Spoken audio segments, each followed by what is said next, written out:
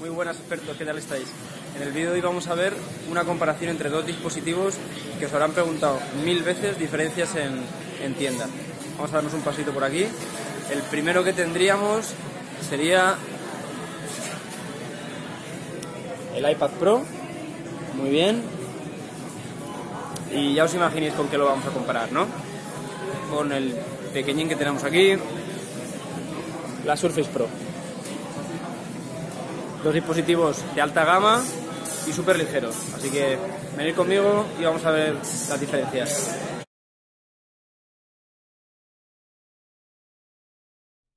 Aquí tendríamos los dos modelos. A mano izquierda vemos que tenemos la Surface Pro y el iPad Pro a mano derecha. Vamos a ir repasando rápidamente las diferencias entre unos modelos u otros. En, tamaño de pantalla tendríamos un poquito más en iPad Pro, 12,9 frente a 12,3 y una resolución eh, similar, con apenas diferencias. Aquí en procesadores sí que notaríamos una gran diferencia, ya que el iPad Pro monta un procesador de arquitectura móvil, el A10X, mientras que en, que en Surface tenemos diferentes configuraciones de procesadores Intel desde M3, i5 y i7 en séptima generación, lo cual nos daría un rendimiento muy superior. En RAM tendríamos 4 GB de RAM en el modelo de, iPad Pro frente a 4, 8 y 16. Más posibilidades de, elegir rendimiento y multitarea en, Surface Pro.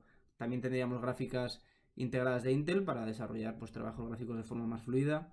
En reproducción de vídeo también estaríamos por encima, 13,5 horas en reproducción de vídeo frente a las 10 horas que tendría iPad Pro.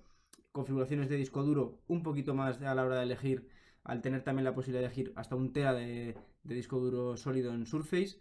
Y en el sistema operativo, una de las principales diferencias, Apple tendría su iOS 10 frente a Windows 10 Pro, el cual nos, nos, permitirá mover aplicaciones ya de escritorio y funcionar de una forma un poco más profesional y como un ordenador como tal.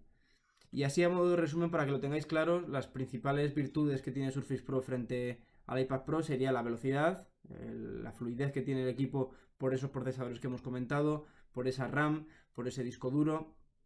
El, sistema operativo, al tener Windows 10 Pro, eh, eh, eh, mm, vamos, nos permite ejecutar aplicaciones de forma más profesional y funcionar como un ordenador.